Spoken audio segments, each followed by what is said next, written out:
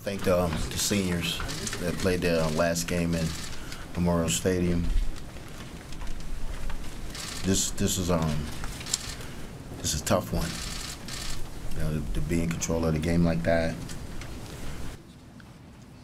We we gotta we got um I gotta do a better job of getting them to close people out, and that's that's gonna happen with maturity and doing a better job. But I'm take the head off to these kids. You know, just a a good character group, group that's not going to quit. I told them today they're a better football team when the day I met them in December, and we're going to continue to get better day in and day out. And we're going to come back next week, and we're going to play hard again and look for a different result. Just didn't happen today. This one hurts. Ricky, is there anything at the end of the game would you have liked to done that, that drive different? The one you managed, uh, the one where you guys couldn't get the first down, and you had to punt it right back to him. Yeah, we you know we just you run the ball and you, and you lose two. You're just not blocking it clean. So we try to you know get it in there. You know, right there you gotta, like you said, I gotta get them. I gotta we gotta teach them to close them out. How can we close them out? Coach, I know you haven't seen the film yet, but your impressions of the running game or lack thereof today? Yes, it, it just hadn't been there. Just hadn't been there. Um, we've been having trouble with it. It's been it's been week in and week out. You know, we got to play with the guys that we have. We can't we can't trade them.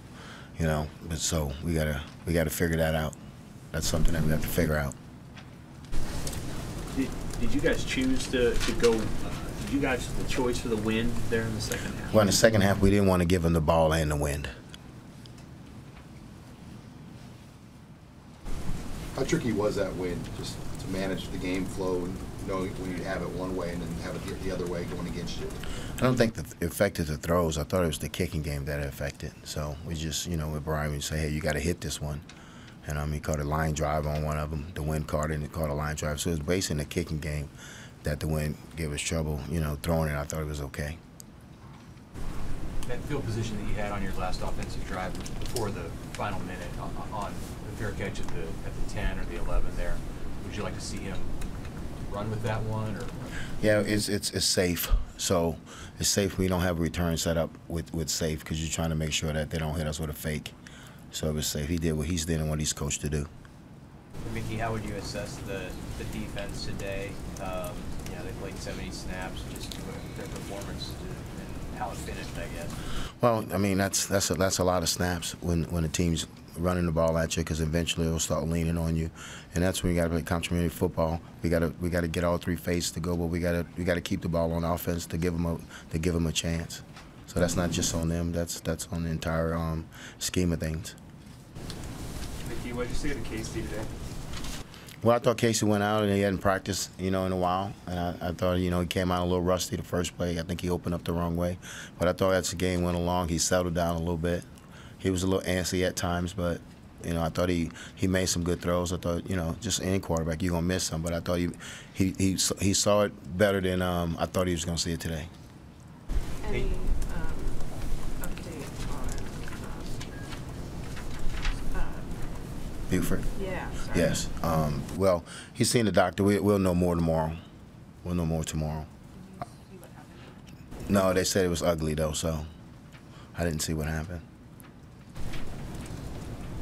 You, you again got pretty big contributions from a couple of true freshmen on defense, Malcolm and Ernest. What do you think about their their future and the way they played against that opponent in these in this this kind of environment? Well, I, I you know those kids play hard. Those kids are two really good football players, you know, and you know you you got to make sure we sit down with them, you know, sit down with them at the at the end of the season and see see what see what they're thinking. But um, I just two good kids though, so they'll be back to come back next year to get better. Coach, I mean, talk a little bit about this senior group. I mean, you touched on it, but since you've known, I mean, there's been a lot they've gone through: coaching changes, COVID, and IL became a deal. I mean, talk a little bit about the group since you've known them. Well, just a, a, a great group of guys, great character kids, just just great great great players, you know. And um, they hadn't they hadn't gotten um, the wins that they wanted, you know. But they they come in this building every day, never negative, always positive, and they come in here to work, and that's that's what you appreciate from them. And if if that's the type of team that you want, you want a high character team that no matter what they're going to come in here and give you work. But I take my hat off to them, and we're going to miss them. Coach, is the first full game with Whipple up in the, the box. How do you think the communication was? Oh, I thought we we have some veteran coaches down there with uh, with Donnie Applewhite, Beck. You know, so we have some in Cass. We have some veteran coaches. So that was in their first rodeo of being with the coordinator in the box. But I thought it went good. Not, not, not gonna be fixed overnight, but the offensive line, like, what, what do you think needs to just kind of transform there so that, you know, your running backs aren't getting hit three yards line, behind the line of scrimmage with the ball? Well, we, you know, we got to get some depth. We got we got to put some competition up there. And you know, you heard me say say before we we got to get a competitive roster. And and um, you you got to get some depth up there. You got to you got to have 16 to 17 guys that's on scholarship to get some depth to, to you know to get them going because you know they're rotating defensive linemen. You got to be able to rotate those kids. But you know what? Those kids come out here every every every practice and they practice hard and they come out every game and give their all. Yeah. Earlier in the season, you know, there was a conversation about, well, Nebraska's offense scored 42, and the defense gave up 45, but today that kind of reverses. How do you, how do you talk to a defense that fought its guts out, but, but ultimately was on the field for 37 minutes because the offense couldn't hold on? Yeah, you don't have to talk to them because we, we talk. We're a family. We're not going to point fingers. So we, I don't have to talk to them because I know the way they're thinking. They're thinking like this. We got to hold them. And the offense is thinking like this. We got to score 16 points.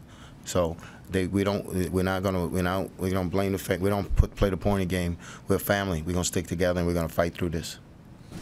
Anything else for Coach? Thank you.